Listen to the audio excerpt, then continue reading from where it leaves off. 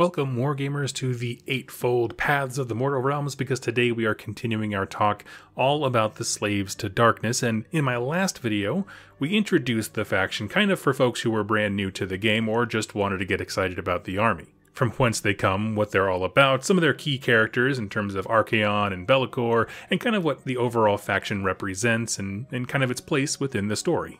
But in today's episode, we're going to push forward into the new stuff because, as we'll talk about, the Slaves to Darkness, specifically Archaon himself and Be'lakor, were both making some major plays towards the end of the last sort of story arc that Age of Sigmar had. And for a lot of time, there was kind of just dead silence on that front, and this book punches that story a little bit further forward, or at least gives us some resolution to the events of those campaigns, so I want to cover that. The plot is thickening, and I am very excited. Now, one thing I'd like to add before we get into that is I want to shout out Not Just Gaming, an awesome store over on the East Coast in the United States. They have 15 to 30% off a whole wide swath of projects from Games Workshop stuff all the way to major hobby product brands. So if you're looking to start a new army or just expand an existing project, please consider using that affiliate link down below because every time you do, it goes directly to supporting me, my wife, our cats. It's life changing stuff every time, and thank you so much to everyone who's used it already. Okay, so if you are just jumping in uh, to the kind of grand story, I'm going to assume you watched the first video and skip the recap there. If you're just tuning into the overall story of the Mortal Realms, Archaon found a way to possibly get into Azyr. He's been mining a resource called Varanite out of the uh, eight points, and this has like a just raw chaos. Think of like um, Realmstone for Hell, constantly warping and mutating and twisting anything it touches he wants to essentially melt a whole bunch of it down and just like melt away the gates that open to Azyr so he can march his forces in there and, and go take on Sigmar man to man. Well, that process was interrupted by the forces of Stormcast and Morathi's Daughters of Khaine uh, in the beginning of the Broken Realm series.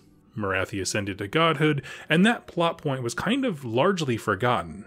The only real other significant thing that we got from that story was as Stormcast were dying in the eight points, the forces of chaos began to kind of summon some weird dark cloud above them that the souls of Stormcast could not pierce through to go back to Azyr. So they found a way somehow within the eight points to permakill Stormcast, which is very good information to have.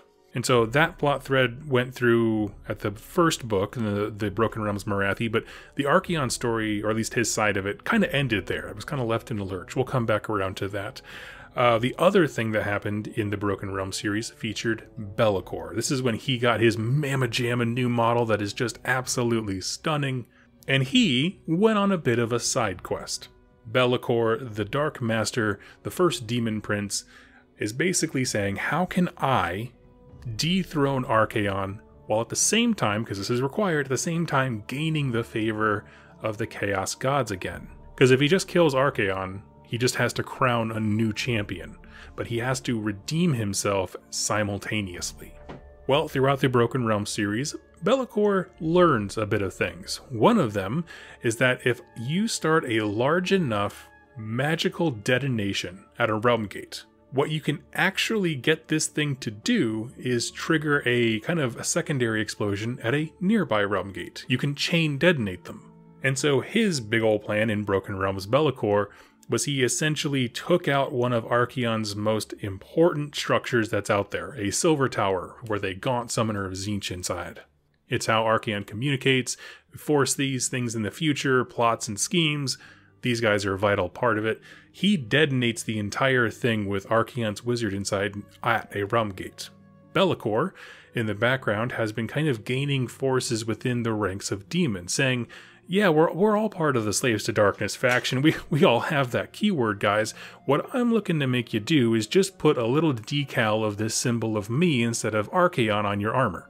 And some of the demons were like, alright, I do like you more than him, and we're all on the same side, so why not? That's an oversimplification, of course, but he gets like a pocket group of people who are loyal to him rather than Archaon. What he does is then sends these forces out into other nearby realm gates to detonate them.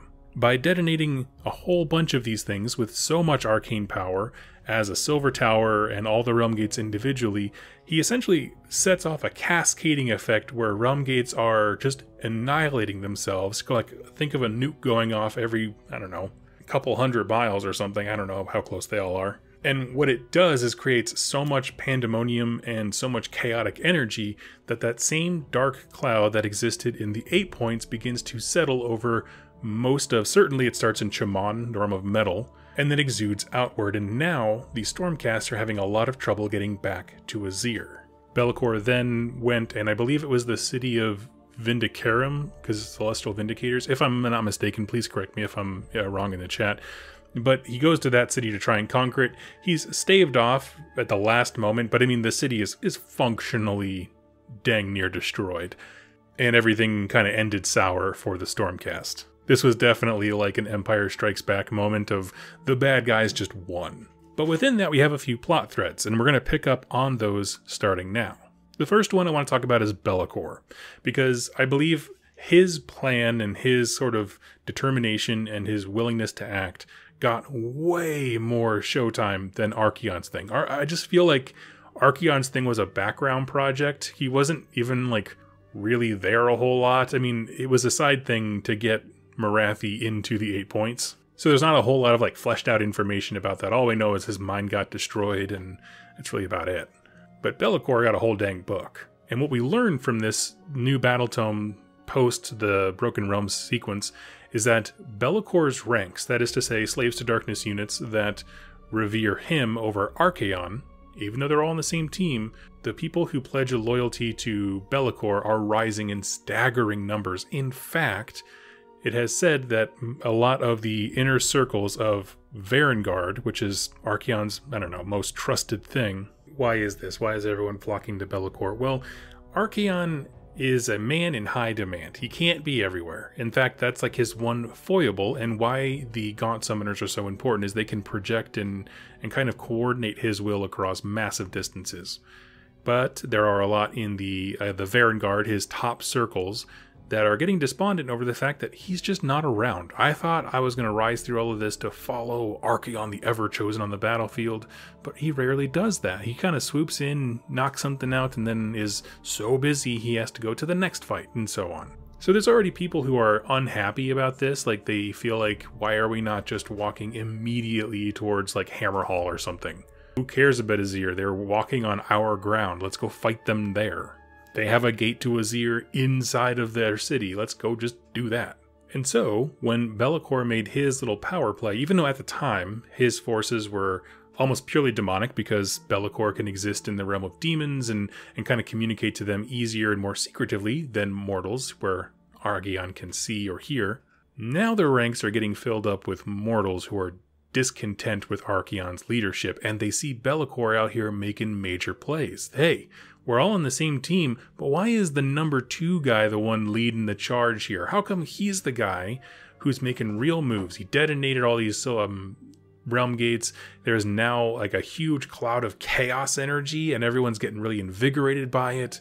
Things are getting darker, but also, like, of course, in their perspective, better. I need to go follow him instead. This is clearly a champion. Now, one such character who made this decision is actually a new war scroll that we get to play with. It's a named character named Eternus, Blade of the First Prince, and he is sort of like the champion of Be'lakor. Like if he had like a right-hand man, it would be Eternus. This is a former Varanguard so this was one of Archaon's most trusted, loyal, down to the wire, true followers. He is a warlord in his own right of a hundred nations and all this other crazy, you know, grandiose things that they describe Varanguard as. And he got so sick of seeing Archaon run around and do errands that he's like, I'm gonna go follow Be'lakor. Be'lakor is like, I would love to have you get in on the ground floor.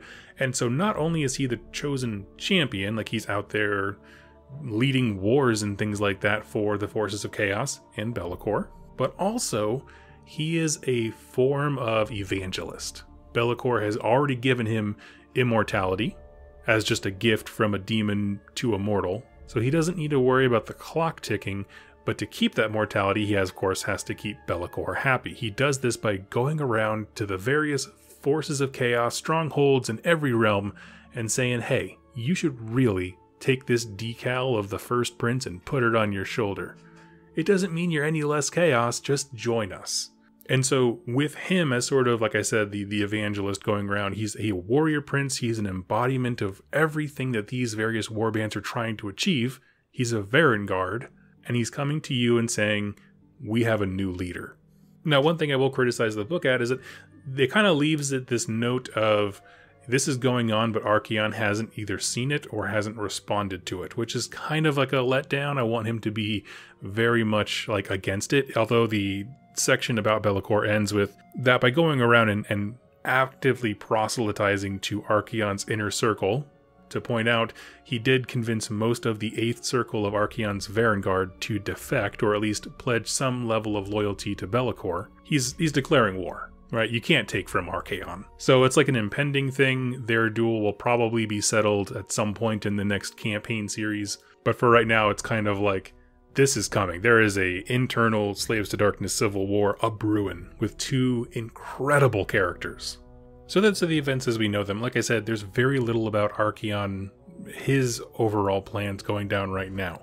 All we really know is that he doesn't know about Eternus yet, and his grasp on power is dropping. Like his his status within, I guess, his own ranks is going downward because he's not staying anywhere to lead. In fact, uh, the reason he was able to, I guess, kind of lose the loyalty of the Eighth Circle of Varanguard is he took them all to Ghur and basically said, um, nothing's going to change here. You guys stay here and conquer the realm. I'm going to peace out. And he left. So there are like jilted lover syndrome everywhere in the Slaves to Darkness faction. This is the perfect place for these divisions, these cracks of loyalty to start forming because the forces of chaos are all about this new warlords usurping the older ones or the previous ones. Even if Be'lakor's story is a bit more complicated, ultimately every single champion within the ranks of the Slaves to Darkness is trying to grow in power and one day wants to be the one in charge, which eventually means getting rid of Archaon.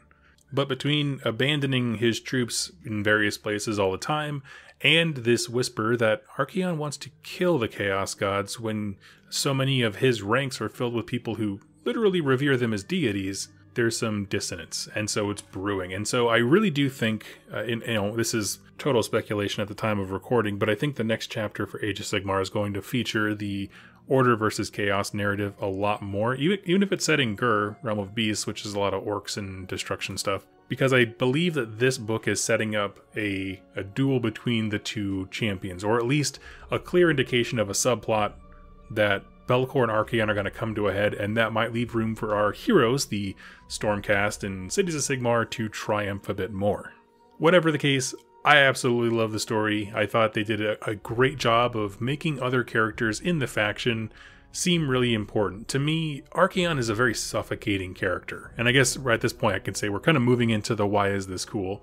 But whenever Archaon's on a scene, he dominates the entire thing, but then he has to run. Like he's he just never stops, and nor do we see him stop long enough to feel like he's a major character he doesn't get a ton of dialogue. He doesn't get a lot of introspection or anything like that. Be'lakor we actually have. Broken Realms Be'lakor, he had great dialogue with Lady Olynder. He had plots and schemes in motion. He's working with other people rather than just lording over them. He has to actively try to recruit rather than Archaon, whose sheer presence and might is just supposed to get everyone to follow him. They are different approaches, and I like them. They are both reflections of what it means to be a Chaos Warlord. And for you and I as players, you can, in real model ways, lean into either one of them, and that's terrific. One of the reasons I don't like named characters that are on a deity level, which I, will call Archaon a deity level, just, you know, given the physical size of his model, how much of a army change it is to have him in your list versus not, uh, all that kind of stuff. He's a centerpiece thing. And I, I don't hate models like that, but I, to me, there has to be an alternative. Someone who's not quite truly deific. And so having a subplot where there's a smaller hero, still a named character, that's cool, but some other narrative tension within that story so it's not just always defaulting to what's going on with one particular character as if the character and the faction are synonymous. That's what I like. Give me some choices. So, any friends, I would love to hear your thoughts. What do you think about the kind of the Slaves to Darkness arc that they're moving towards now, where Be'lakor is becoming more and more of a prominent character again, and uh, maybe a little bit of drama between him and Archaon? What would you like to see? Who would you pledge loyalty to? For me personally, I'd go Be'lakor. I don't think Archaon does enough personally. I think uh, Dorghar, his ride, is the true champion of chaos. And uh, once Dorghar eats Archaon and Be'lakor, he will ascend to becoming the perfect creature. That's my hot take. But barring that inevitability, I'm going to say uh, Be'lakor is my favorite because I like his use of magic and subterfuge. I find that to be more in line with a lot of the tenets of chaos rather than strictly martial prowess, which is Archaon's one trick. He's good at war. But we're doing more than war. We're corrupting a realm. We're bringing hell with us wherever we go into the hearts and minds of men and the realms abroad, and I do think Be'lakor does that better. Let me know your thoughts. Defend the Ever Chosen down below if you dare. I'll respond to you there. Thank you so much for hanging out today, and I'll catch you in my next Age of Sigmar lore video. Happy wargaming.